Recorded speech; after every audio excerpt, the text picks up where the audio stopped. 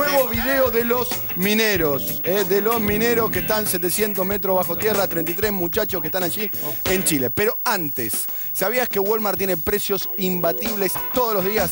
Vayas el día que vayas, siempre tienen precios bajos, no cambian de un día para el otro. Esto te permite ahorrar cualquier día de la semana y no un solo día a la semana. ¿Qué ganás? Compras barato, ahorras todos los días y tenés que tiempo para hacer lo que quieras con tu semana. Walmart se preocupa para que puedas vivir mejor. Walmart, ahorra dinero, viví mejor.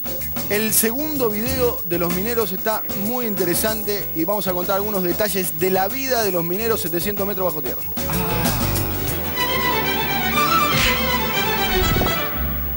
Mineros, nuevo video. Alcoholismo, divorcio y merchandising. A poco más de un mes del derrumbe, mientras siguen las perforaciones para sacar a los mineros y la hinchada alienta sin parar. ¡Viva los mineros! ¡Viva! ¡Viva los mineros! Hoy causó tremenda conmoción un nuevo video que grabaron los mineros en el que advierten a sus queridas mineras que mientras ellos están 700 metros bajo tierra, Guarda con ir de shopping. Hoy día, las señoras que malgastan los dineros de, no- de- de sus esposos, es hora de que se pongan las pilitas y piensen de que nuestros dineros no se ganan porque yo soy más lindo, se lo regalan jefe. No, nuestro dinero lo ganamos con el sudor de nuestra frente. Por eso, queridas esposas, queríamos mandarles este mensaje para que aprendan a aprovechar la plata.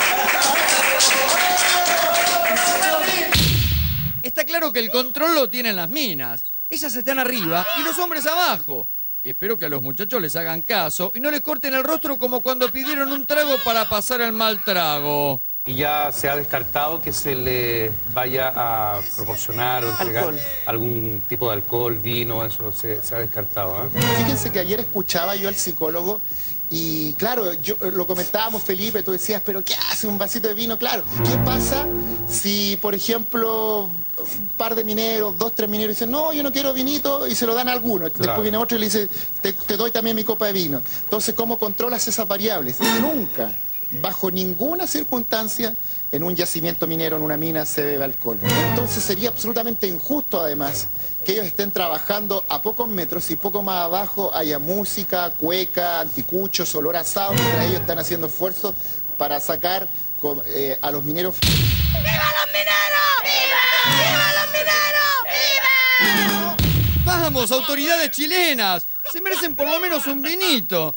También después del derrumbe fue creciendo el merchandising y muchos oportunistas quieren saltar a la fama a costa de los mineros.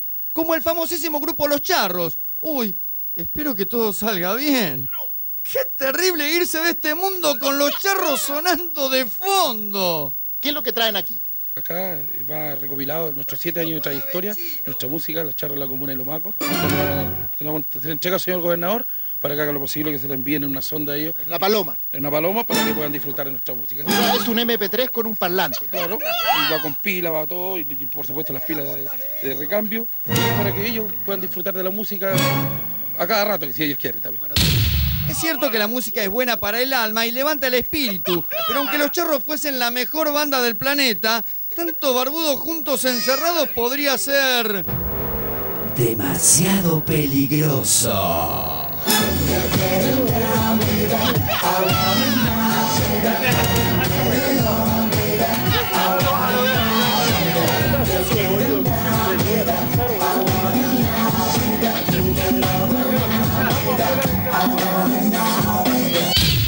Días después del accidente, se filtró esta publicidad de la empresa minera en los medios chilenos y se comprobó que la empresa es tan confiable como el psicoterapeuta de Bilardo.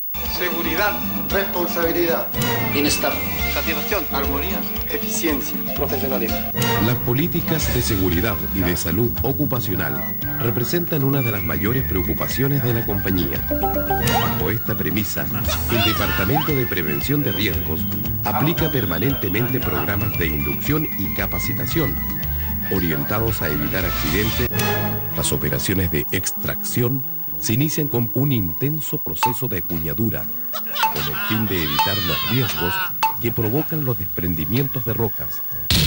Bueno, no hay que exagerar tanto. Al fin y al cabo, los derrumbes son cosas de todos los días. Depende de las características de las personas, como así también este,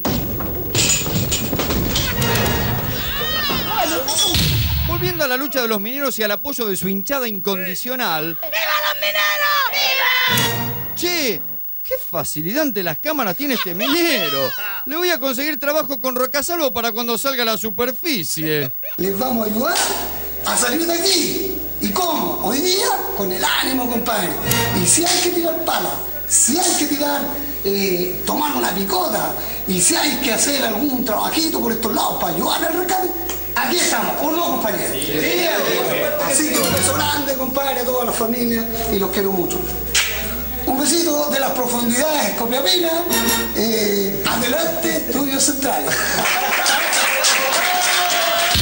Para que vean que el derrumbe da para todo, fíjense como para un turista europeo una tragedia tercermundista se convierte en turismo aventura y podés vivir lo que sienten los mineros 700 metros bajo tierra durante unos minutos. Estos son los primeros turistas que dejando atrás los temores y motivados por la curiosidad de experimentar el encierro que están viviendo los 33 mineros atrapados, se sumergieron en este tradicional viaje por la historia. Nunca he estado en un sitio así, eh, muy interesante, pero también tengo un poco de miedo porque estamos muy bajo y, y como he visto en las noticias, los otros mineros están atrapados. Pensándolo bien y después de escuchar al ex Vive en Paz Vilaró, a estos mineros, ¿les dan la chapa para llamarse héroes? Tú me decías, a mí me angustia mucho porque yo soy claustrofóbico, pero ellos no lo son. Ellos gente que está entrenada para estar abajo de la mina. A ellos los espera la gente afuera, digo, están, tienen su comunicación. Digo, ellos tienen, tienen muchas cosas, que sé que juegan al dominó, que tienen una cantidad de cosas, Sí, juegos sí, todo. le bajamos un televisor anoche chiquito para que viera el partido de Chile. Sí, nosotros no teníamos nada. Nosotros- esos aplausos que yo vi ahí, nosotros nunca los tuvimos.